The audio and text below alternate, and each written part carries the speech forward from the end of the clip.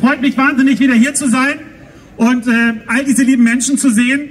Das ist großartig und äh, der eine oder andere hat sogar gesagt, er würde mich vermissen. Das tut mir, das geht ins Herz. Vielen, vielen Dank. Ähm, ich bin, ich bin montags ehrlich gesagt nicht aus Desinteresse nicht, äh, nicht mehr dabei, sondern ich habe konstant zwischen 25 und 30 Prozent Krankenrate bei mir im Unternehmen.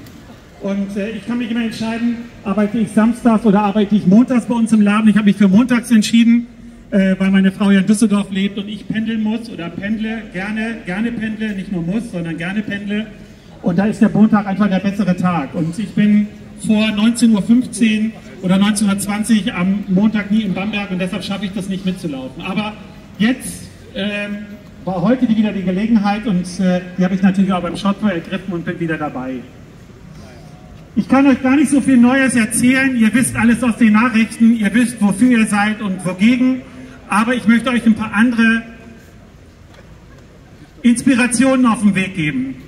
Ich habe mich sehr beschäftigt in den letzten Wochen und Monaten mit medialen Dingen. Und eins kann ich euch sagen, Ende 2024, und das sagen eigentlich alle Medien, wird unser Land nicht mehr ansatzweise so sein wie heute. Wir werden in einem anderen Land leben. Und das muss uns allen bewusst sein. Und wir müssen genau dieses Bewusstsein weiter forcieren und uns genau darum kümmern.